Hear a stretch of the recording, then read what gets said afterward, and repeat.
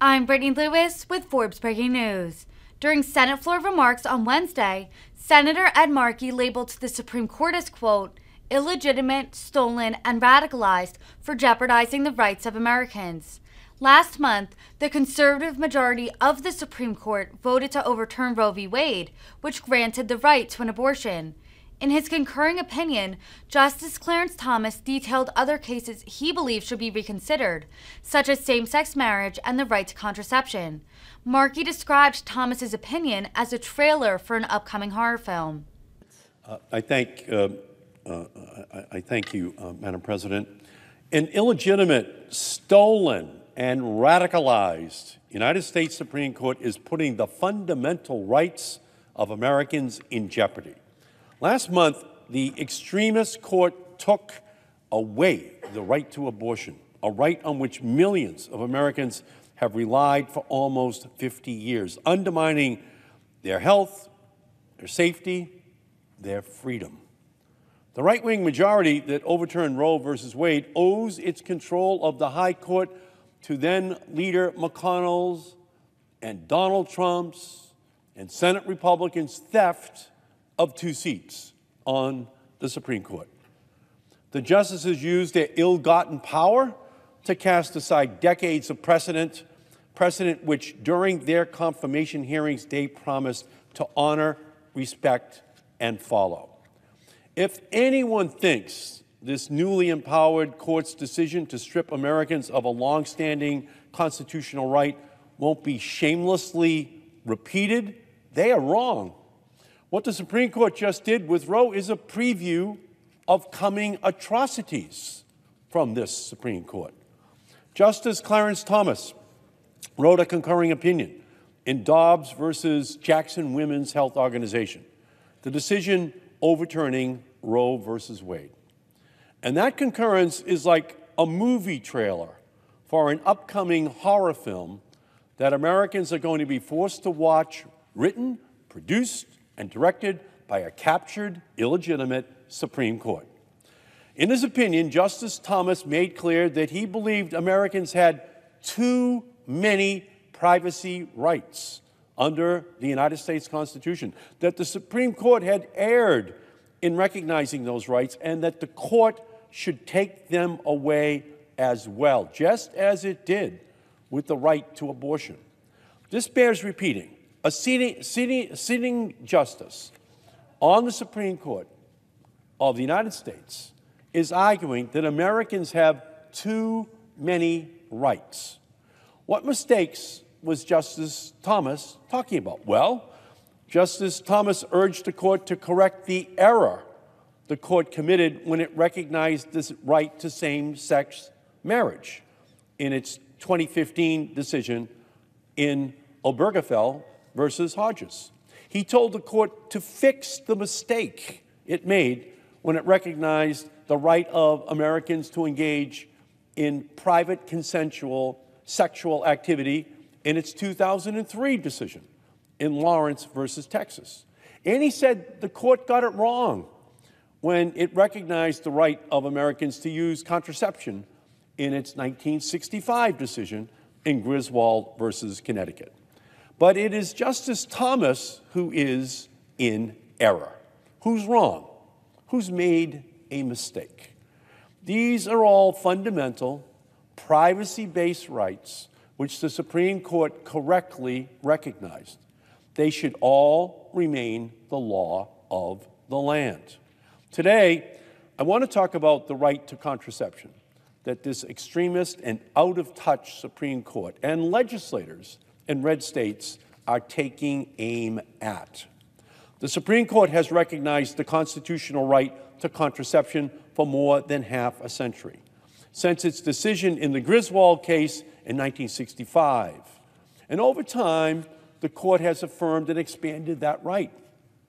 In its 1972 decision, a Massachusetts case, Eisenstadt versus Baird, recognizing the right of all people to access contraceptives regardless of marital status. And in its 1977 decision, in Carey versus Population Services International, which held that a state could not constitutionally prohibit the distribution of contraceptives to minors. The right to contraception is therefore a fundamental right that the court has repeatedly recognized and reaffirmed. It is a right that is central to a person's health, to their well being, to their life, liberty, equality, and economic and social freedom in our country. It is a right grounded in the need and ability to make decisions about one's own body, one's own family, and one's own future. It is a right that is woven into the fabric of a free, pluralistic, and modern society. And it is a right that we must codify and make part of our law so that far right extremist judges and elected officials cannot take it away in order to advance their own blatantly political agendas.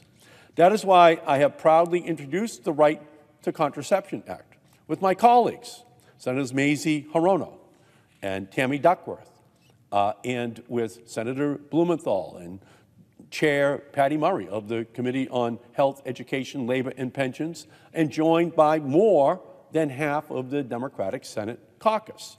The Right to Contraception Act would codify the Supreme Court's decision in Griswold recognizing the right to obtain and use contraception. The Right to Contraception Act would enshrine that right in federal law, and it would guarantee a healthcare provider's right to prescribe contraceptive products and services and information related to them. The bill would also protect a range of contraceptives that are legally marketed under the Federal Food, Drug, and Cosmetic Act. And the Right to Contraception Act would authorize the U.S. Attorney General, as well as individuals and healthcare providers harmed by unlawful restrictions, to go to court to enforce the rights the bill establishes. In short, the Right to Contraception Act would safeguard the rights established by more than 50 years of Supreme Court precedent and would protect access to contraception even if Griswold were overturned. The concerns that have led to the introduction of this bill are not merely hypothetical.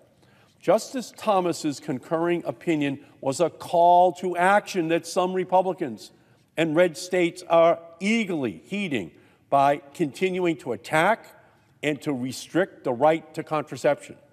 Several states have already gone after access to contraception by cutting off public funding for it by seeking to define abortion broadly enough to include contraception, and by allowing healthcare providers to refuse to provide services related to contraception based on their own personal beliefs.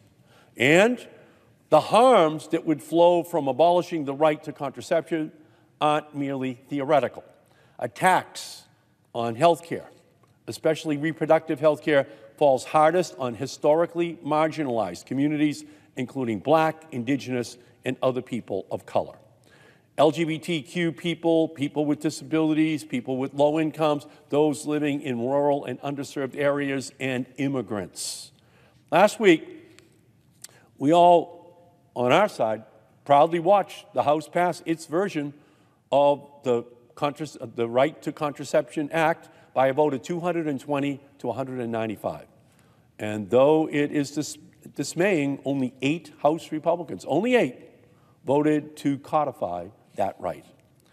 With the right to abortion stolen and the right to contraception threatened and the need to protect and expand access to contraceptive me uh, methods and information on contraception, it makes it more imperative than ever that we pass this legislation. We can't wait for the next hammer to drop. We have, to, we have an urgent obligation to take the first exit off this slippery slope that leads to the loss of